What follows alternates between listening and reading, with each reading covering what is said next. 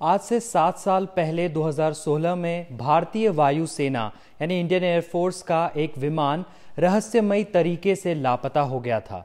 इस विमान में 29 लोग सवार थे और इसे ढूँढने के लिए चौवन दिनों तक सर्च ऑपरेशन चलाया गया, लेकिन इसका कोई पता नहीं लग पाया। अब इस घटना के सात साल बाद शुक्रवार 12 जनवरी को अचानक से इस विमान के मलबे मिले हैं।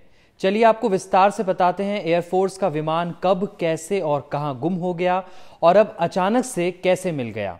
भारतीय वायुसेना का लापता हुआ विमान ए एन बत्तीस था।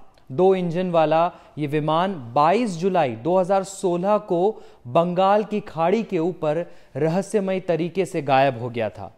इस विमान ने उस दिन सुबह लगभग साढ़े आठ बजे चेन्नई के तांबरम वायुसेना स्टेशन से उड़ान भरी थी और उसे दोपहर के आसपास अंडमान और निकोबार द्वीप समूह की राजधानी पोर्ट ब्लेयर पहुँचना था। लेकिन वायुसेना के अधिकारियों के साथ विमान का रडार संपर्क टूट गया। विमान के उड़ान भरने के 42 मिनट, यानी सुबह लगभग नौ बजकर बारह मिनट पर रडार से इसका संपर्क टूटा। इस समय विमान चेन्नई से लगभग 280 किलोमीटर पूर्व दिशा में था। इस विमान में कुल 29 लोग सवार थे, जिनमें छह चालक दल के सदस्य थे, ग्यारह वायुसेना के कर्मी थे, दो भारतीय सेना के जवान थे, भारतीय नौसेना और भारतीय तटरक्षक बल के एक एक जवान और नौसेना आयुध डिपो के साथ काम करने वाले आठ डिफेंस सिविलियन शामिल थे। विमान के लापता होने की सूचना जैसे ही अधिकारियों को मिली, उसके बाद विमान की खोजबीन शुरू हो गई।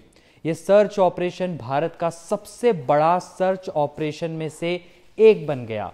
इस ऑपरेशन में भारतीय सेना के जवानों ने विमान का पता लगाने के लिए सबमरीन, जहाजों और कई विमानों का इस्तेमाल किया। फिर 1 अगस्त 2016 को यह पुष्टि कर दी गई कि विमान में कोई अंडर वाटर लोकेटर बीकन नहीं था। अंडर वाटर लोकेटर बीकन क्या होता है? ये एक डिवाइस है जिसकी मदद से रेस्क्यू और सर्च ऑपरेशन की टीम को क्रैश हुए प्लेन को ढूँढने में मदद मिलती है। इस डिवाइस से एकॉस्टिक पर्ल्स एमिट होती है, जिसकी मदद से सर्च ऑपरेशन टीम को पता लगता है कि डूबा हुआ प्लेन कहाँ है। लेकिन इस मामले में सर्च ऑपरेशन टीम को निराशा ही हाथ लगी और बचाव अभियान को 15 सितंबर 2016 को बंद कर दिया गया। विमान में जो लोग सवार थे, उन सभी को मृत मान लिया गया था।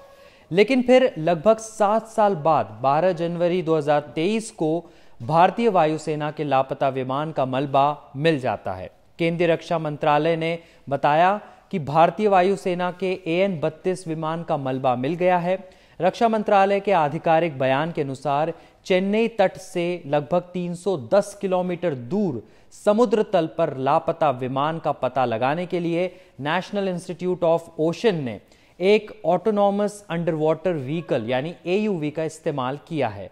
रक्षा मंत्रालय ने कहा कि multi beam sonar synthetic aperture sonar और हाई रेजोल्यूशन फोटोग्राफी सहित कई पेलोड का इस्तेमाल करके 3400 मीटर की गहराई पर मलबे की खोज की गई है। आधिकारिक बयान के अनुसार सर्च इमेजेस की जाँच की गई और पाया गया कि वे इमेजेस ए एन बत्तीस विमान के जैसे ही हैं।